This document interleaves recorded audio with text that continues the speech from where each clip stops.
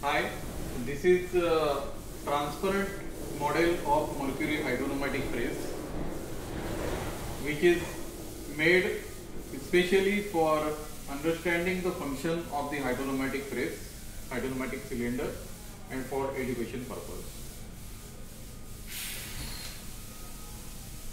The, this is the first approach, then power stroke, machine has generated the pressure and this is retraction. Overall there are four positions of the hydropneumatic cylinder.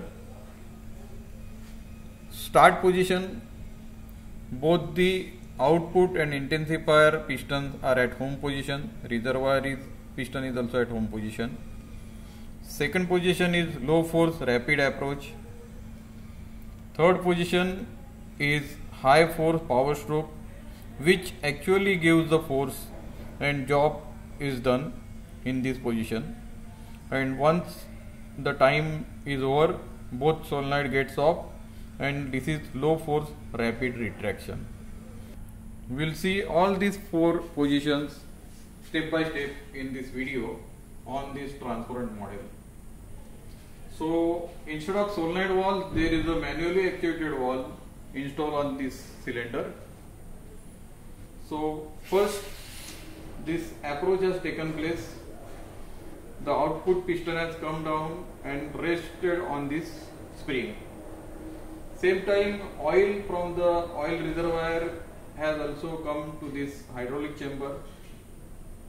Now we'll actuate the lever further so that power stroke will be introduced. Now this is the power stroke, the intensifier travel, intensifier piston has traveled and compressed the oil. Because of that increased oil pressure, this ram has come down and applied the power stroke down so that the spring has compressed fully. So this is the power stroke. Now we'll retract the, cylinder. So a power stroke is released, approach is released, reservoir oil has gone back. This is the return position of the cylinder. We'll quickly see the cycle again. This is approach. This is power stroke. And this is retraction.